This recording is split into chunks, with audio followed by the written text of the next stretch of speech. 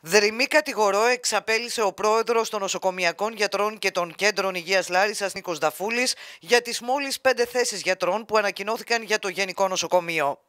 Ανακοινώθηκαν χθες ε, οι νέες θέσεις γιατρών που προκυρήσονται ε, και για το Γενικό Νοσοκομείο είναι μόλις πέντε. Σε καμιά περίπτωση δεν ε, φτάνουν να καλύψουν τις ανάγκες οι πέντε θέσεις γιατρών.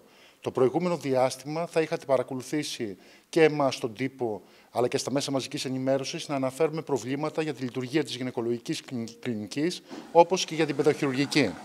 Το αποτέλεσμα ήταν οι θέσεις από έξι να γίνουν πέντε και να ε, διαγράψουν μία θέση της γυναικολογικής κλινικής. Επίσης, ε, η παιδοχειρουργική δεν υπάρχει πουθενά ε, στην προκήρυξη. Σύμφωνα με τον κύριο Νταφούλη, επιχειρείται υποβάθμιση του Γενικού Νοσοκομείου την ώρα που για το Πανεπιστημιακό ανακοινώθηκαν 23, με τον ίδιο να υποστηρίζει ότι ο αριθμός οφείλεται στις προσπάθειες που ξεκίνησαν για την ιδιωτικοποίηση του Πανεπιστημιακού. Είναι κοροϊδία οι πέντε θέσεις, δεν είναι ενίσχυση του νοσοκομείου.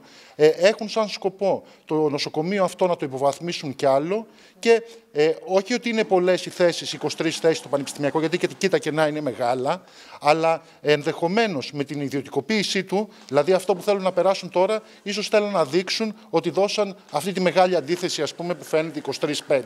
Αυτό γιατί το προωθούν, είναι φιλέτο και το προ... είναι προσπόληση. Μέσα σε αυτό το κλίμα οι γιατροί βρίσκονται επίποδο, αφού όπως τονίζει ο κ. Δαφούλης, σκοπός της κυβέρνησης είναι να κάνει δώρο τα νοσοκομεία σε επιχειρηματικούς ομίλους. Εμείς αυτό που λέμε είναι ότι αυτή τη στιγμή είναι ένα δώρο για τους μεγάλους επιχειρηματικούς ομίλους που θέλουν να αυξήσουν τα κέρδη τους και από τον τομέα της υγείας.